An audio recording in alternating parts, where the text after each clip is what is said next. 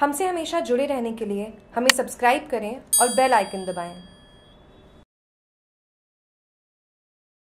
पाली पंचायत समिति पाली के वडेरवास गाँव से आए ग्रामीणों ने अतिरिक्त जिला कलेक्टर को ज्ञापन सौंपकर सरपंच द्वारा करवाए जा रहे विकास कार्यों की जाँच करवाने की मांग की है। ग्रामीणों ने बताया कि वडेरवास गाँव में महिला सरपंच है तथा सरपंच की जगह सरपंच के ससुर ग्राम पंचायत में बैठकर कार्य कर रहे हैं, जिसको लेकर कई बार शिकायतें भी की गई है, लेकिन सुनवाई नहीं हो रही है। इन ग्रामीणों ने आरोप लगाया की सरपंच ग्राम पंचायत के अन्य गाँव में नहीं आकर केवल वडेरवास गाँव में ही विकास कार्य करवा रहे हैं, जिसको लेकर ग्रामीणों में आक्रोश है। छोटे मोटे कार्यों के लिए उन्हें भटकना पड़ता है। इन ग्रामीणों ने दिए ज्ञापन में कहा कि सरपंच व परिवार द्वारा किए गए कार्यों की जाँच करवाई जाए और सभी गाँव में एक समान से विकास कार्य हो, उसको लेकर पाबंद भी किया जाए।